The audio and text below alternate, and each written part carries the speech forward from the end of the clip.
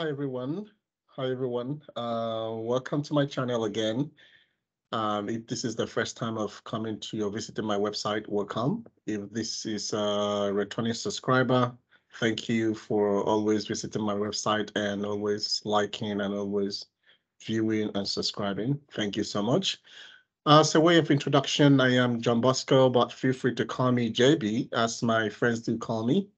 I am a Scrum Master and Agile coach for a number of time now or a number of years now, and I have passion for what I do. All right, so uh, let's get started for today. So the last time we were talking about uh, some Agile concepts, some Agile or Scrum concepts terminologies, because uh, one key thing I realized that most of the times Scrum Masters do not master or know how to communicate because of lack of the terminologies in an agile environment. And also, if you are new to an agile or if you are new to Scrum, it is necessary that you get yourself attuned, you know, get conversant with the terminologies, with the concept, with the phrases, so that you can really, you know, participate in the conversation uh, with an agile consultant, an agile coach, or even a Scrum Master. Okay. All righty. So um, if this is the first time, please I encourage you to subscribe to my channel, like, view, share with your friends, colleague, family members. Let them know about I Need Scrum Master YouTube channel. Um, you can also visit my website at www.ineedscrummaster.com, uh, where I also meet with a number of people. I um, do six weeks class for people who wants to become Scrum Master and Agile Coach. So just visit the website, there are a number of information there. If you want to schedule to meet with me, you are more than welcome to do that there. Okay, because of time frame, let's get started for what we have today. All right, I'm just going to pull up some document or a document actually, and then we can get started. All righty, so I guess you can see my screen. Um, the last time we started with um, some terminologies in Agile or using in Scrum, um, then we stopped at number 64, which is plan-driven process. So today we're going to continue from number 65. Uh, like I said, I have over 100 terminologies. Uh, this is as a result of my experience as a Scrum Master over the years and also through research right? I've listened to Scrum Masters, Agile Coach, you know, listen to professionals, listen to co-founders of Scrum, like people like Jeff Sutherland, Ken Schwaber, and even, you know, giant figures like Mike Cohn. Um, so I try to, you know, draw and condense all of the terminologies. I'm not going to say these are all, but I would say that it's, you know, close to all. All right. So for today, you know, we'll keep you know, explain some of these concepts and terminologies to us. Uh, in other words, so it becomes easier for people who are new to Scrum or even professionals who are into Scrum and Agile to follow through. Planning poker, um, a consensus-based technique for relative sizing of product backlog items. So one of the techniques that Scrum Masters or Scrum team, when it comes to sprint planning in estimation, is a technique called planning poker. It's a game where you have to uh, uh, distribute a card and then you know the team members will be able to consent or agree if they are going to uh, go with either um, two story points or two two hours thereabouts. So it's a kind of a technique. So whenever you hear planning poker, know that is a game. Portfolio backlog, a backlog composed of products, programs, projects, and high-level epics. So portfolio in terms of, I mean, we have Sprint product backlog, we have portfolio backlog. So portfolio is a kind of a high level of product backlog where you have all of the epics that are really, you know, grouped together. Portfolio planning, just like the name, is where you know team meets in order to plan on how to go about uh in on how to go about for the portfolio. Potentially shippable product increment is an artifact. Um, what it means is at the end of every sprint, team members are hoping to be able to ship something to the client. So what they ship to the client is potentially shippable products increments. Okay. A right principle is a fundamental or belief that serves as the foundation for how we approach products development. For example, we have the 12 um, agile principles, right? So which is a way the Scrum team approaches uh, projects, products. There has two meanings. Uh, the first one is the result of a product development effort, right? Um, what that means is what the team members have been able to work for a particular number of sprints is the end result or the end result of what they have been working on is called a product. The second meaning in an agile environment is a good or service is consisting of a bundle of tangible and intangible attributes that satisfy consumers and is received in exchange for money or some other unit of value, which is relative to or which is related to the first you know, meaning. Product backlog. So like portfolio backlog, the product backlog is a kind of lower level of, of that. Um, the product backlog is like a container where the PO, which is the product owner, you know, um, puts in all of the customers' requirements. So before the before the Scrum team starts working on the project, the PO must have gathered requirements from the clients, stakeholders, and then the container where those requirements are uh, contained is the product backlog. Product backlog grooming is um, it's not a ceremony. Uh, it's not in the in the Scrum guide. So it is way uh, where the Scrum team members before the sprint planning will be able to meet um, to estimate the stories, to prioritize the stories, or to organize the items in the product backlog. As the names can either say product backlog grooming or product backlog refinement, it means the same thing. Product backlog items, item PBI is an item feature. What I mean item is could be feature, user story, defect, spike that is valuable from the PO's perspective and is inside the product backlog. So all of the items that are contained in the product backlog is uh you know is are all categorized as product backlog item. Product owner PO.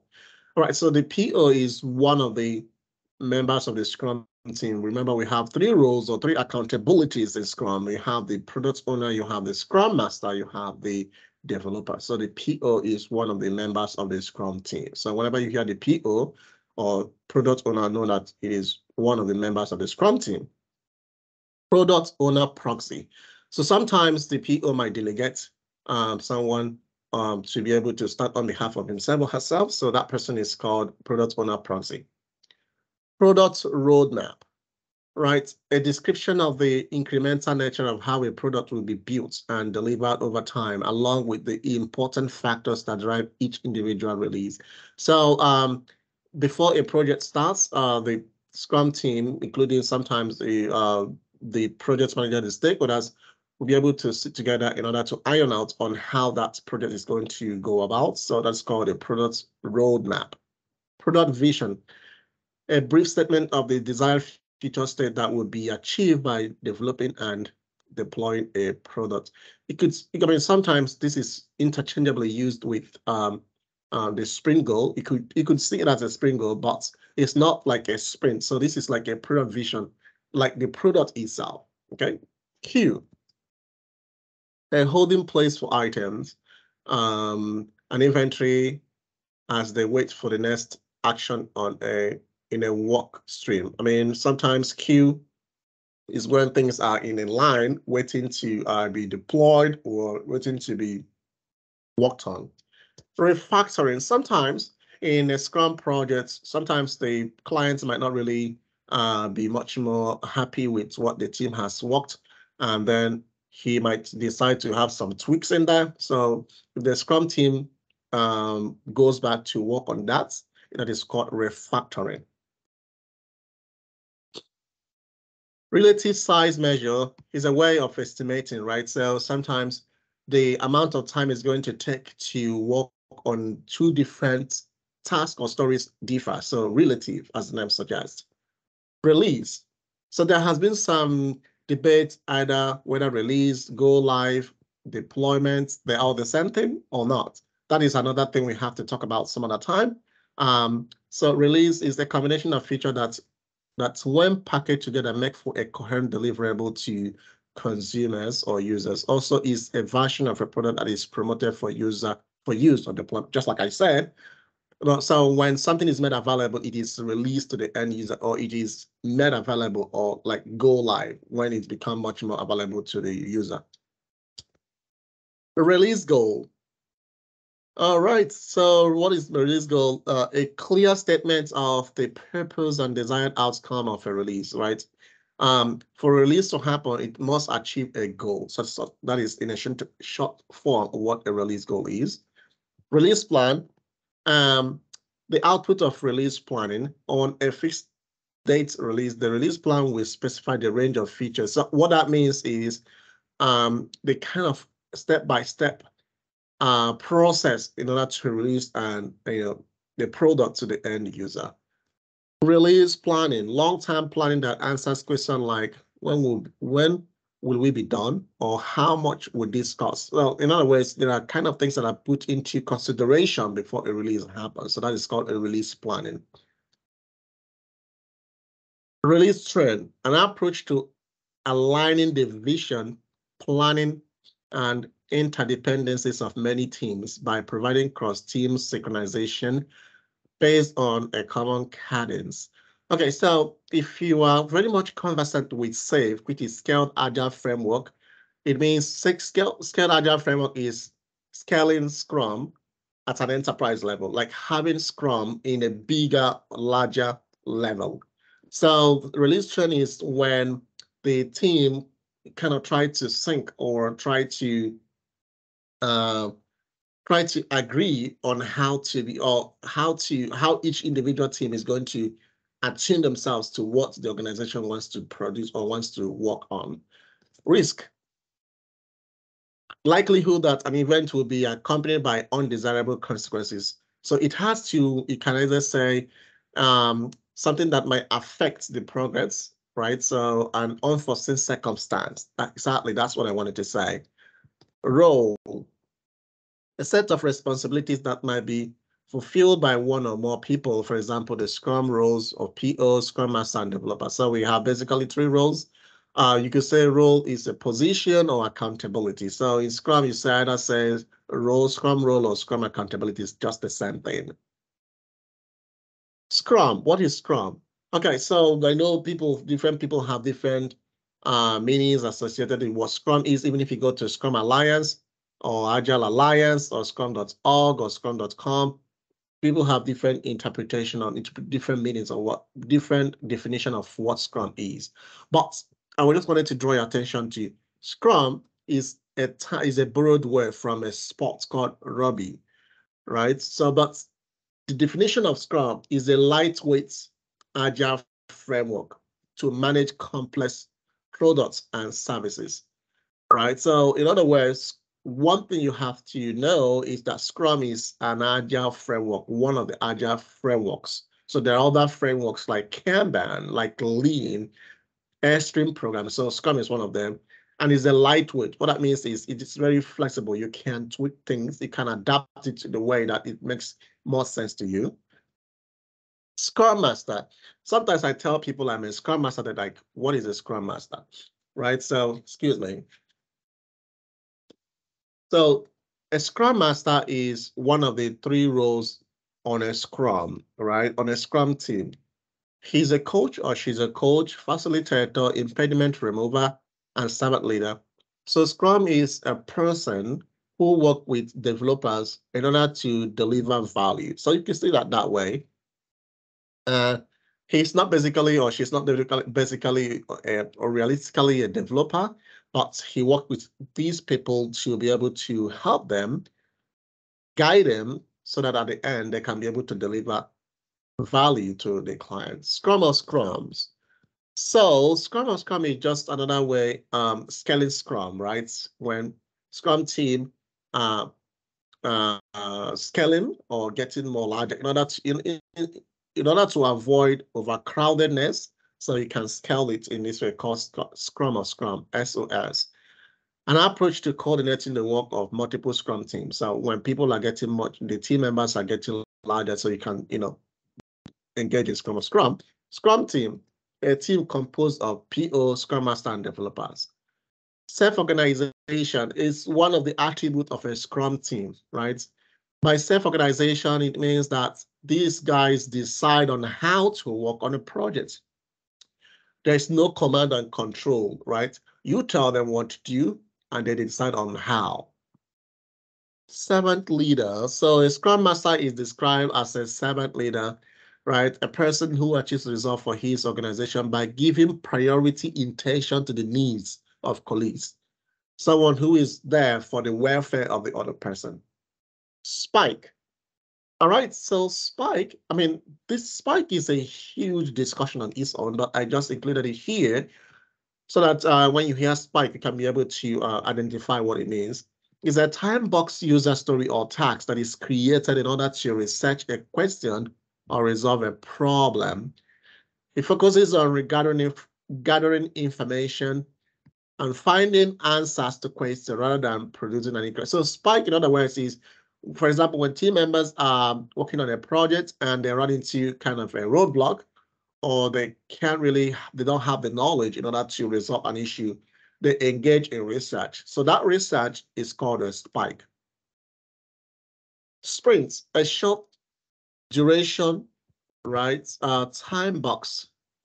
Um, it is a time box between a week to a month, during which the Scrum team is focused on producing a potentially shippable product increment that meets DOD, which is the definition of done. So sprint is a duration where the developers work on a project. All right, sprint backlog.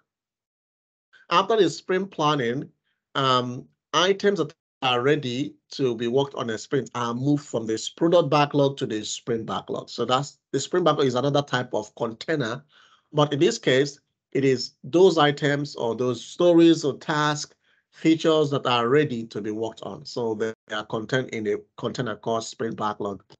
Sprint Demo, the Sprint Demo is one of the Scrum ceremonies. We have the daily stand-up, we have the sprint planning, we have the sprint de uh, demo or sprint review, and sprint retrospective. So sometimes sprint demo and sprint retrospective are used interchangeably all right, so it's a time when the developers will be able to demo to clients what they have worked on. All right, sprint goal. Um, each sprint has a vision or what developers or the Scrum team would love to accomplish. That is what is called a sprint goal. Sprint planning. Sprint planning is a time where the developers or the Scrum team will be able to discuss, have the conversation on how to work on a sprint. Sprint retrospective is an event. Uh, like I said, there are uh, daily standard sprint review, sprint retrospective, and sprint planning. So retrospective is a time where the developers will be able to reflect on how on how they have used Scrum to work on the project. So it's on the Scrum process, not on the product itself. Sprint review, like I said, is interchangeably used with sprint demo where the developer will be able to showcase uh, what they have worked on. Stakeholder, a person, group, or organizer affects can be affected by organization actions. So these stakeholder is a person who has an authoritative um, personality um, on a project. So we have two types of stakeholders, internal and external. Stakeholder value, the value that a solution delivers to stakeholders. So, I mean, stakeholders always have a contribution. So whatever opinion or whatever goal that the, the, the stakeholder has on a project is called a stakeholder value. Story mapping is a technique that takes that takes a user-centric perspective for generating a set of user story. All right, story points.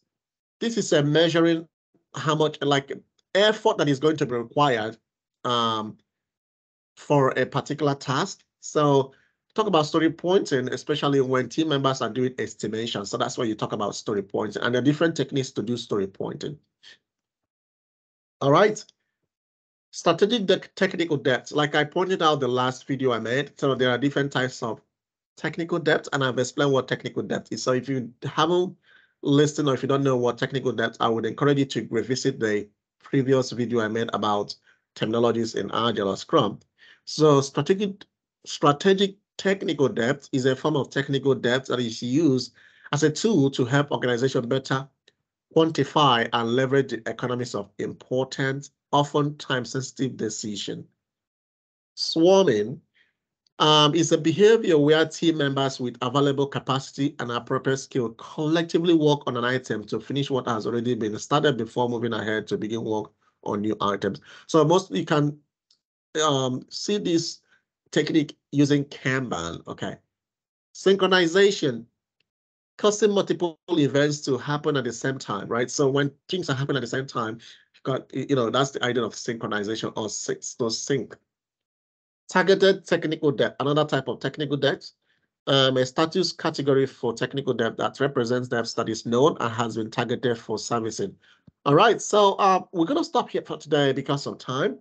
Um, I'll finish up with the remaining parts uh, for the next video, which is going to be released on Friday, uh, which is three days from today. So look out, look out for that. Um, if you have any um, you know, terminology you have heard or you've seen somewhere, and then you think uh, or you're not sure, please just hit me or you know put that on the comment section, or you can email me, and then we can be able to. I will be able to incorporate that, and then I can be able to uh, explain that in detail. All right. Okay, okay, Doki. Uh, thank you again for visiting my website and my channel today. If you have any question, please put that in the comment section. Uh, if this is the first time of visiting my channel, please click the like button there, um, share it, view, subscribe, and even refer your friends, your colleagues, and family members. If you want to have a chat one-on-one -on -one with me, or you're looking for a place to um, do your Scrum Master, you know, course, definitely reach out to me and we can schedule something. All right. That's where we're going to stop here for today. And then I will see you again next time. All right. I hope you have a wonderful time. Bye for now.